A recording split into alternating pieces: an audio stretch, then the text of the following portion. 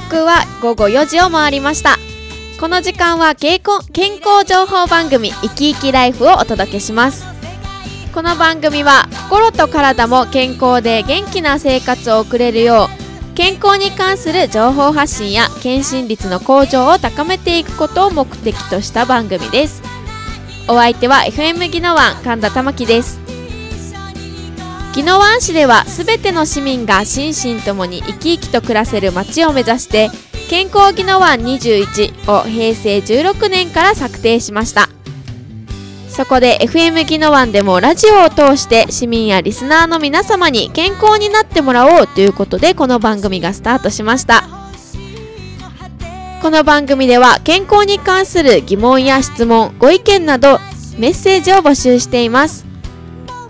メッセージの宛先は797アットマーク FM ギノワン .com 797アットマーク FM ギノワン .com です。また FM ギノワンではユーストリームとツイキャスそしてサイマルラジオでネット配信しています。FM ギノワンのホームページから見ることができますのでそちらもお楽しみください。ツイッターも連動していますのでたくさんツイートしてください。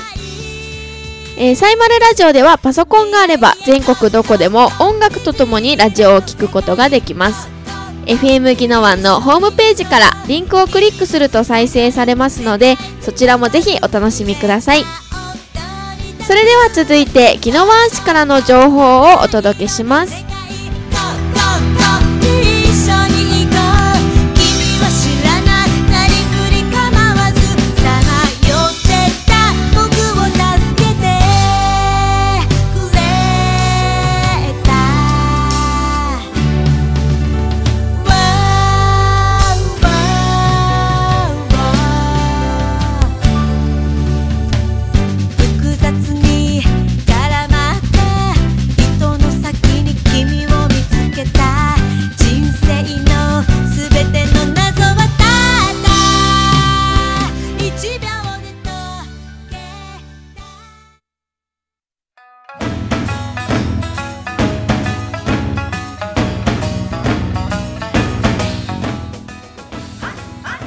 れでは宜野湾市からの情報をお届けします。宜野湾市法7月号。健康福祉だよりよりお伝えいたします。まずはじめにウォーキングデー参加者募集のお知らせです。ウォーキングをしてみたい。一人ではなかなか続かない。今年こそはダイエットと思っているあなた。私たち健康づくり推進委員と一緒に楽しくウォーキングしませんか？日時は第2第4月曜日の午前9時からです。場所は憩いの市民パーク。管理事務所前東屋です。市民で運動制限のない方を対象としています。内容はストレッチチュラ眼中体操公園周囲1時間程度のウォーキングです。お問い合わせは健康相談センター898-5583までお電話ください。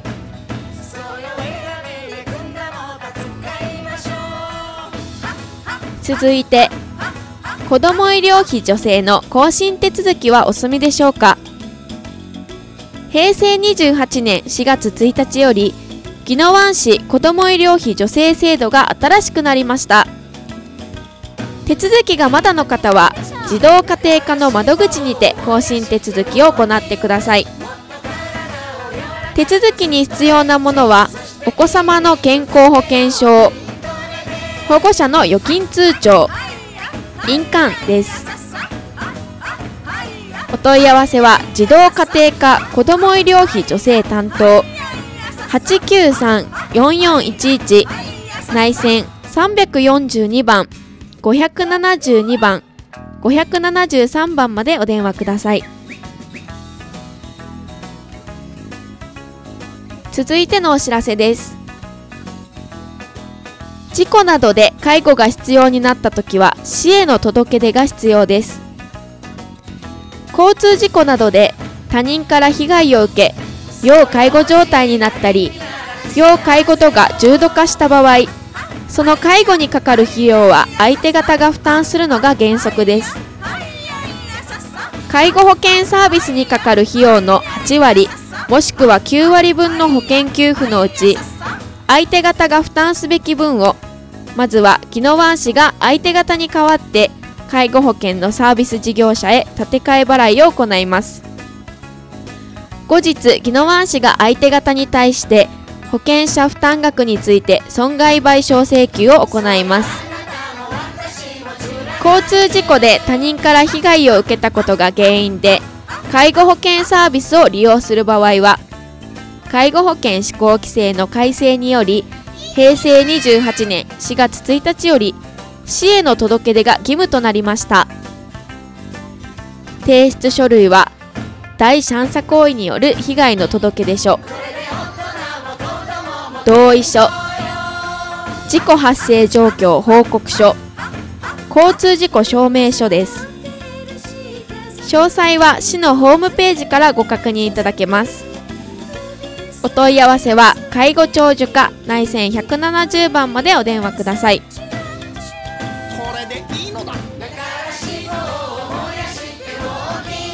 最後に健康づくり市民大会のお知らせです。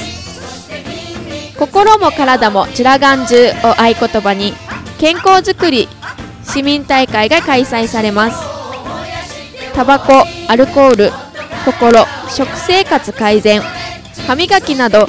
各種のコーナー運動指導親子料理教室などさまざまなイベントが行われます。日時は7月31日日曜日。午前10時から午後4時までです場所は中央公民館です今回はお医者さんによる乳がんの講演会も予定されていますお問い合わせは保健相談センター898-5583までお電話ください。以上、宜野湾市の情報をお届けしました。CM を挟みます。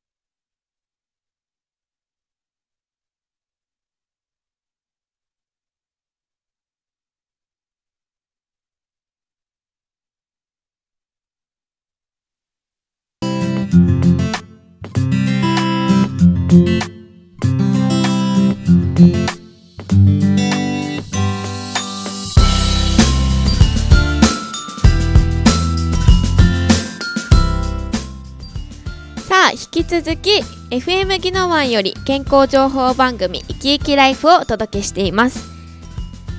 えーとですね普段はゲストさんを招いていろいろお話をしていくコーナーなんですけれども今日はちょっとゲストさんがいらっしゃらないので、えー、私の方からちょっと健康に関する情報をお届けしたいなと思います、えー、今日はですね夏ということでそろそろ夏バテだわとか感じる方もいらっしゃるかもしれないんですけど、まあ、そういう時にぴったりな夏野菜の効果健康と美容の効果をお届けしたいと思います。夏野菜を使った、えー、食事を摂取するとですねいろんな健康や美容に関するいい効果が得られますのでちょっとね食欲ないなって思ってきた時でもまああっさりと食べられるようなレシピなんかもちょっと紹介したいと思います。ということでまずはじめにえーとですねまず夏野菜の5つの栄養の特徴をお知らせしたいと思います。夏野菜にはですねまあ、いろんな、まあ、野菜ということで本当にいろんな栄養素が入ってるんですけれどもその中でも特に健康や美容にいいとされる栄養が5つあるんですね。それがまず1つ目が食物繊維。えっ、ー、とですね夏野菜でいうと枝豆なんかによく入ってますね。そして2つ目がビタミン C ゴーヤとかにねよく入ってますね。そして3つ目ビタミン E 4つ目はカロチン。そして5つ目がカリウムです。それぞれですねどういう効果があるのかもちょっと見たいんですけれどもまず1つ目の食物繊維はよく、えー、まあ、皆さんご存知だと思うんですけれども夏野菜には多くの食物繊維が入っておりまして便秘がちっていう方には、まあ、夏野菜を摂取して食物繊維を取ることで、まあ、体の中の老廃物を出しやすくするという効果があります。この、まあ、体の中の老廃物が外に出されることによって基礎代謝も上がり血行も良くなるんですね。なので食物繊維をしっかりとって体の中をきれいにすると栄養がさらに全身に行き渡って、まあ、日々の活力などにもなるということです。なので食物繊維を摂取するということは他の栄養素を摂取することよりも、まあ、一番土台にある大事なことということになりますね。そして続いてビタミン C こちらはもう美肌の王様と言われている栄養素です。抗酸化作用が高く活性酵素の過剰発生を防ぎ健康な肌細胞を守る働きがあります。ということです。またシミ予防にも貢献してくれますね。ただし水にすぐ溶けてしまう。酸アルカリに弱い。熱や光にも弱いという性質があるので摂取する時には少し注意しなければなりません。続いてビタミン E です。えビタミン E は油からできている細胞膜を守り外部からの刺激によって増えてしまった活性酸素の攻撃を守る働きがあります。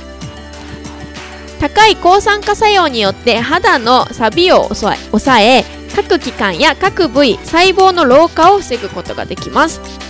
ビタミン E を摂取すると細胞の老化を防ぐことができます。続いてカロチン。えカロチンはですね色素の一種です。体内に入るとビタミン A に変化するそうです。体内の悪玉酵素を攻撃し体を守る働きがあるありますということですね。ただしですね、過剰過剰摂取、今日よく噛むな、すいません。過剰摂取してしまうと、え臓器に悪影響を与えることがあるそうです。なので、取りすぎには注意が必要です。そして最後のカリウム。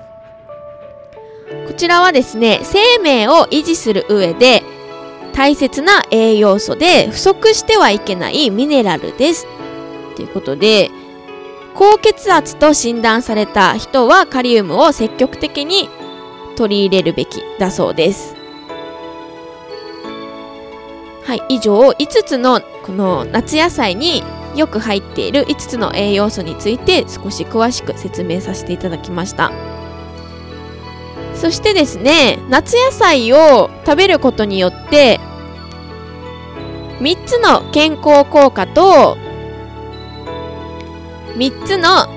美容効果を得られる得ることができます。まず3つの健康効果からちょっと発表していきたいと思うんですけどまず夏野菜の代表的なものといったら皆さんは何を思い浮かべるでしょうか？えー、私はですねあのナスビナスを思い浮かべるんですけれどもこのナスは生活習慣病の予防になるそうです、えー、実はですねビタミン B 群ビタミン C カリウム鉄カルシウム食物繊維など、えー、ナスの中にはこんないろんな幅広い栄養素が含まれているんですね。そしてナスは紫色ですが、えこの色はアントシアニン系の色素ナスニンでポリフェノールの一種だそうです。ポリフェノールというと、まあ、ブドウを思い浮かべる方もいらっしゃるかと思うんですけれどもナスビも同じ紫の食べ物ということでポリフェノールが含まれているそうです。こちらはですね活性酸素や過酸化脂質を抑える働きがあるためアンチエイジング効果やがん予防生活習慣病予防につながるそうです。またですね血圧を下げる働きもあるそうなので真夏日は本当に生活習慣病の予防につながるそうです。さて続いての食べ物なんですけど続いての夏野菜はかぼちゃですね。かぼちゃはがんの予防になるそうです。かぼちゃにはですねベータカロチンが多く含まれていてコレステロール値を低下させてくれます。このコレステロール値は心筋梗塞や狭心症に深く影響するため不足するとこういった心筋梗塞や狭心症の病気になりやすくなります。実は実の部分というよりも皮や綿の部分に多く含まれているのでこのかぼちゃの皮や綿の部分に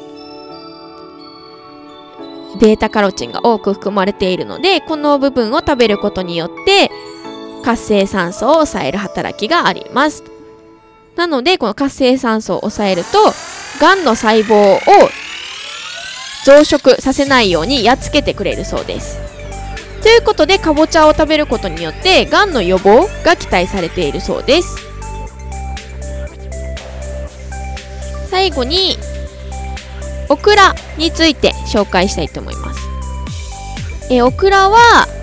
ぬるぬるしているイメージがあると思うんですけれどもこちらのぬるぬるしたものの正体はガラクタンアラバンペクチンムチンという、え成分だそうです。でこの成分の中のガラクタンはですねタンパク質と炭水化物の複合体で動脈硬化の予防になるそうです。またペクチンは食物繊維の一種でコレステロール値を下げ血糖値を安定させる効果があります。またデトックスの効果も望めるそうです。なのでダイエットにも効果があるそうですね。ムチンは糖とタンパク質の結合で胃の粘膜を保護し胃腸の働きを安定させてくれます。ということです。こんなにたくさん夏野菜って皆さん思い浮かべると思うんですけれども